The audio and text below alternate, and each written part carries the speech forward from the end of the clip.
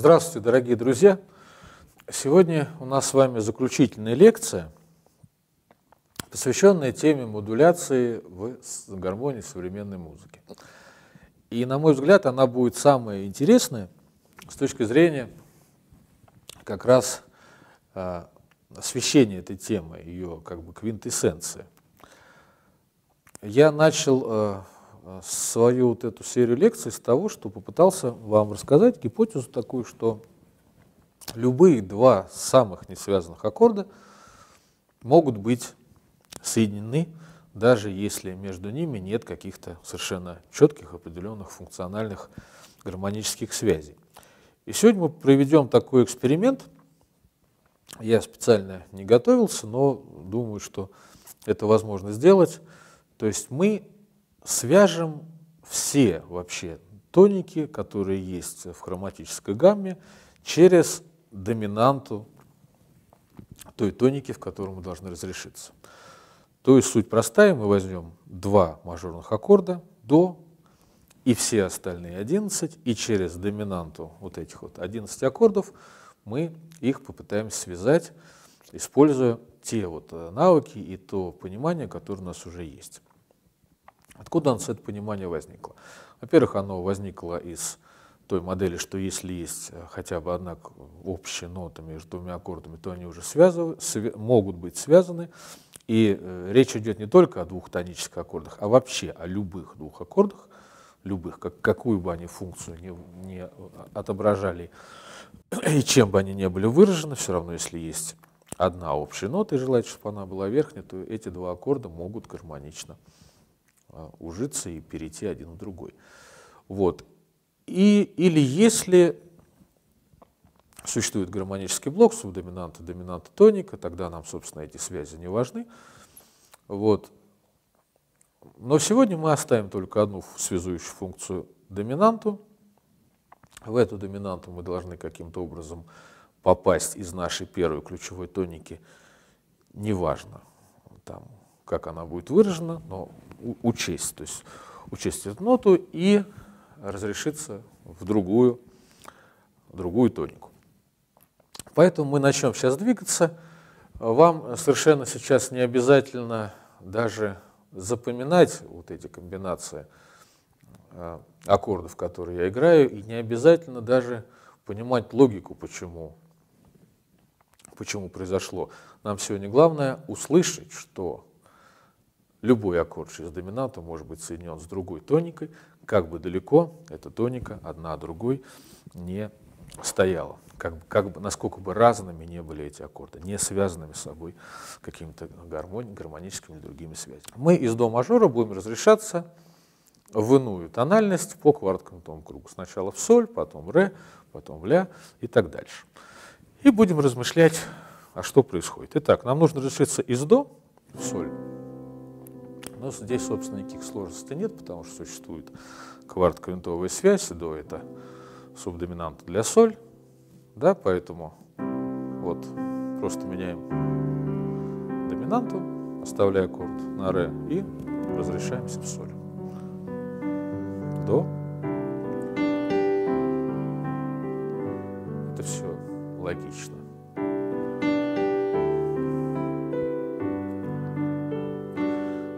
Так, это первое. Второе, ре. Здесь тоже не должно быть никаких сложностей, потому что э, ре – это вторая ступень, значит, здесь есть какие-то стандартные закономерности, а это шестая ступень, значит, все должно быть тоже красиво связано. Вот и связано. Вот до мажор, вот соль, то есть ля, доминанта, сус, 13, разрешилось в ре.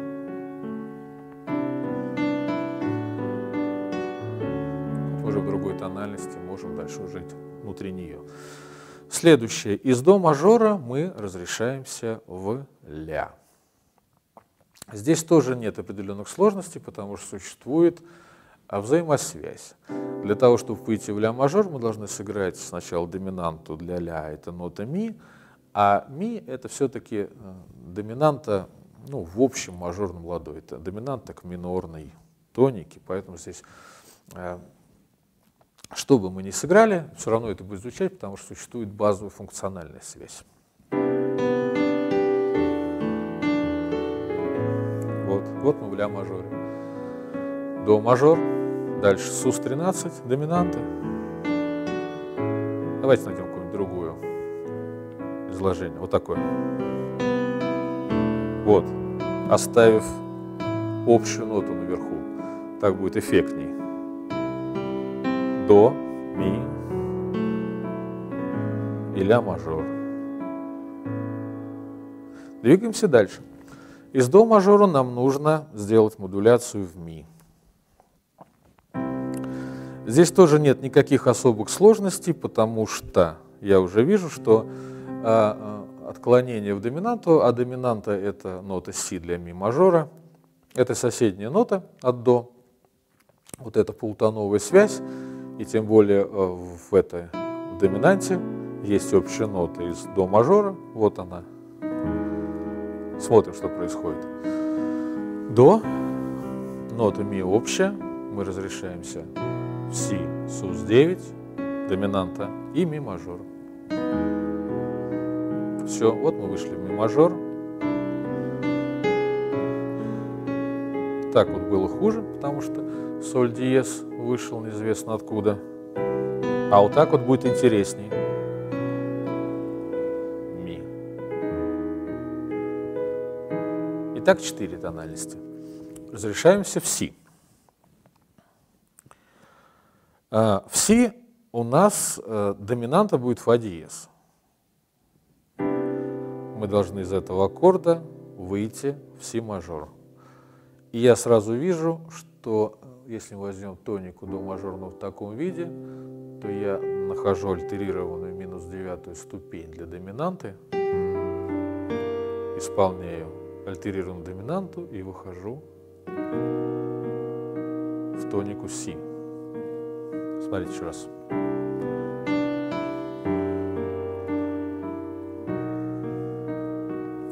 Я могу тоническое трезвучие мажорный представить шестой ступени наверху с тринадцатой, и это будет плюс девятая ступень фа диез, альтерированной доминанте. И таким образом решится в си. Вот мы находимся в си. Можно ли это сделать через доминанту не альтерированную, а через миксолидийскую? Давайте попробуем. Значит, миксолидийская доминанта должна звучать вот таким образом. Да? Свяжется ли это с до мажором.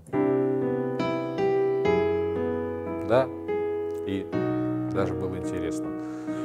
И тоже логика понятна, что до мажор как бы становится... Ой, пардон, виноват. Еще раз. Вот.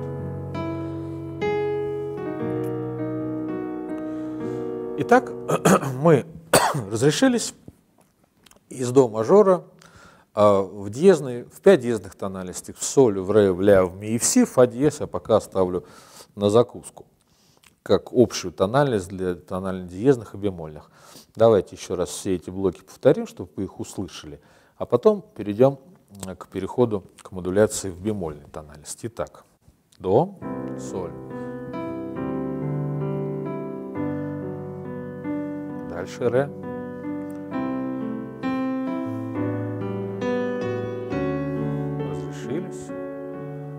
Дальше в ля.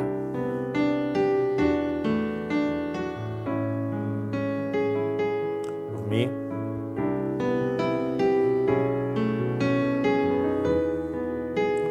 И в си.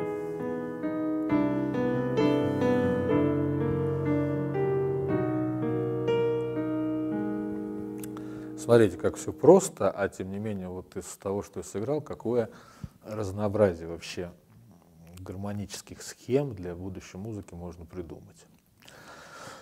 Двигаемся дальше. До мажор разрешается в бемольной тонике. Тоники с бемолями. Первая бемольная тональность – это тональность фа мажор.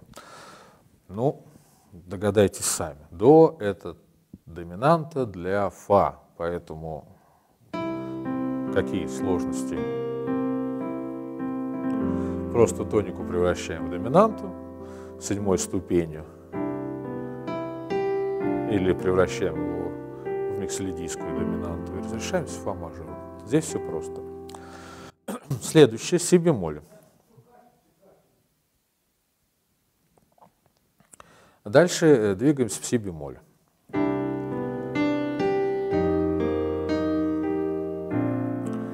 Что произошло? Произошло вот что. А, а доминанта фа, которая должна была разрешиться в си бемоль, выражается а, аккордом СУС-9, вот он, то есть ми бемольное трезвучие наверху и фа в басу.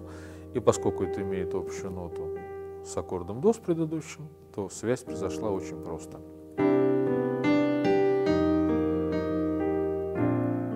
Си бемоль. Идем дальше ми бемоль. Тоже просто. Смотрите, какая здесь связь. В доминанте си бемоль СУС-13 есть общая нота соль с до мажорной тоникой. Значит, она легко разрешается в тонику ми бемольную. До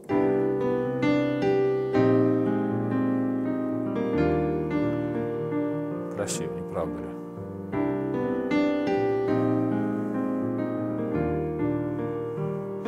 Дальше мы должны разрешиться в следующую бемольную тональность, э, ля бемоль, тональность с четырьмя бемолями. Так, доминанта у нее вот она. Попробуем сыграть тупо ни о чем не думая, никаких связях э, между аккордами.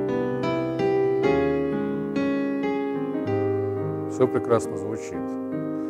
Ну, логика понятна. Э, значит, наверху у нас находилась нота ля бемоль в данном случае, или соль диез для до. То есть вот уже несложно себе представить, почему это происходит.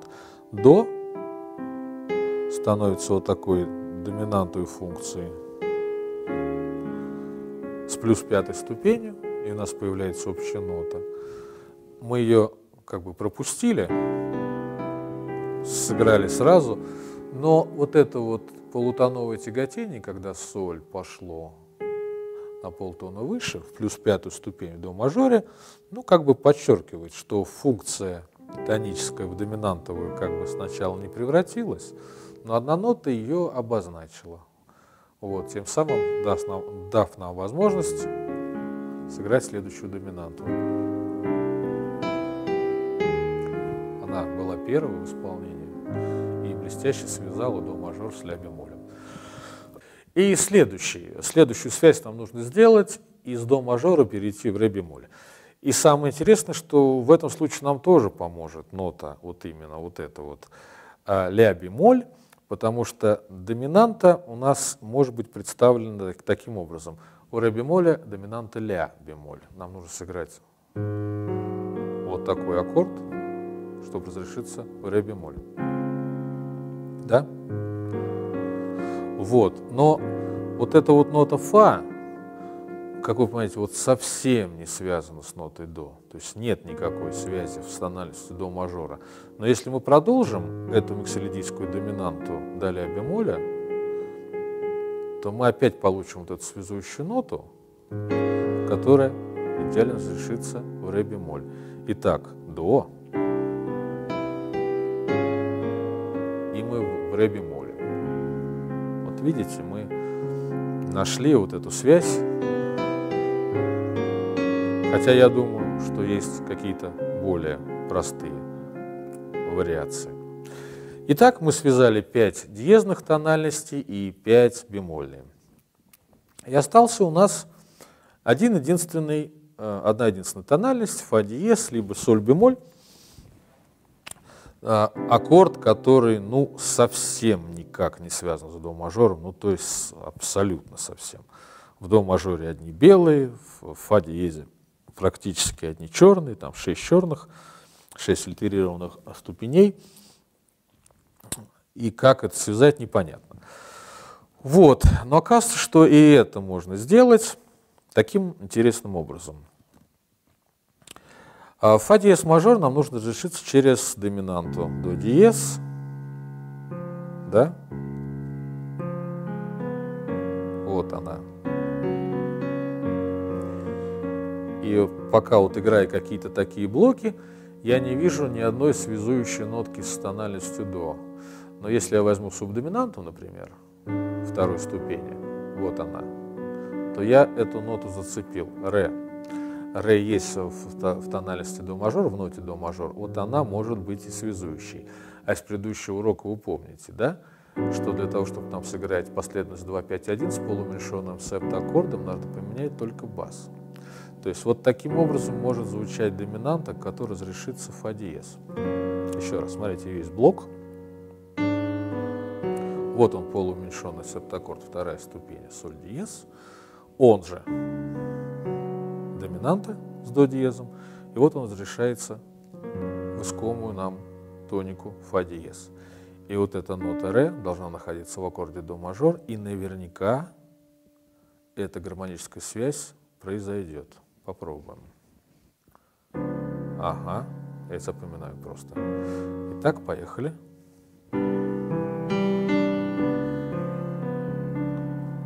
Вот. Послушайте еще